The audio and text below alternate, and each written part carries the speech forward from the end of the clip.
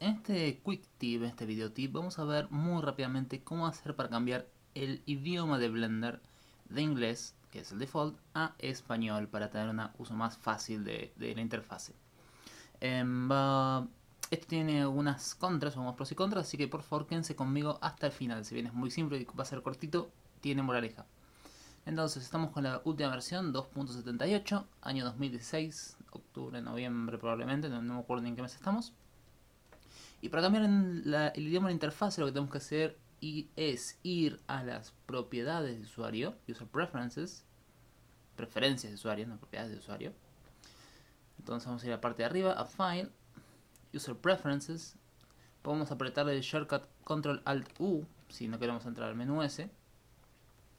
Y dentro de esta ventana que se nos abre, tenemos que buscar el último botoncito, System. Y en la parte de abajo de todo vamos a encontrar esta opción que es International Fonts, fuentes, em, caracteres o, letras internacionales. Una vez que la activamos, vamos a ver que tenemos una opción de lenguaje. Y acá si quisiéramos podríamos ponerlo en polaco.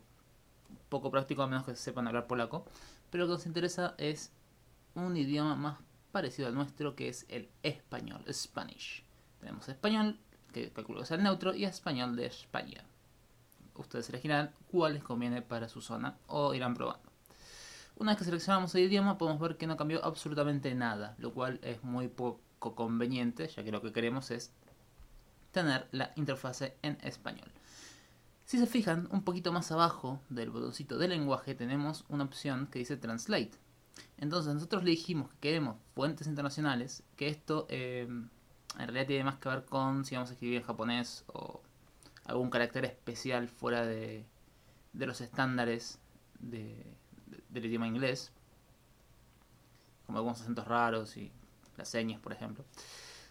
Entonces le dijimos el idioma que queremos eh, escribir, que queremos eh, usar, pero no le dijimos a qué queremos aplicarlo. Entonces nosotros podemos aplicárselo a la data nueva creada a los tooltips, que esto es muy importante, ahora lo vamos a ver, y a la interfase. Y ahora podemos ver cómo toda la interfase de Blender cambió, vamos a hacer un poco más chiquita, a español. Ajustes de procesamiento, restricción, proporciones de píxel, frecuencia, remapeo de tiempo, etcétera, etcétera. Ahora, uno, hace esto, guarda preferencias de usuario, de usuario, clique ahí, cierra y ya tiene el Blender eh, en español para cuando quiera abrirlo de vuelta. O sea, uno abre de vuelta, inicia y está en español. Em, ¿Es bueno tenerlo en español? Eh, la verdad es que no es muy bueno tenerlo en español. Porque hay muy pocos eh, tutoriales, incluso en español, que tengan interfaz en español. Es, es, muy raro encontrar gente que te hable en castellano, en español, y que también use los comandos en español, lo cual complica mucho el aprendizaje de la herramienta. Sin embargo, una opción muy buena es tener la interfase en inglés y los tooltips en español. Entonces nosotros podemos, si no sabemos el idioma inglés, podemos en algún lugar ponernos y si esperamos un segundito, nos va a aparecer eh, lo que sería eh, el tooltip, el... Vamos a traducirlo ahora, ¿cómo, sería en castellano? Como lo escribieron acá. Descripción, bueno, se mataron con la, con, con la traducción, descripciones.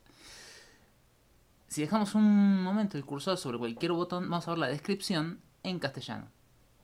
Entonces, como les decía, esto es muy práctico para empezar a practicar y aprender qué significa la palabra en inglés con una traducción en español. ¿Mm? Que una malla cúbica, un cubo, círculo, circular, etc.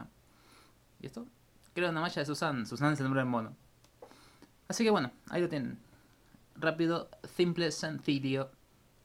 Componer el Blender en español. Y mi recomendación personal, dejen la interfase en inglés y sí todo lo demás en español para poder ir aprendiendo de paso un poquito de otra cosa. Nos vemos en el próximo video. Hasta la próxima. Adiós.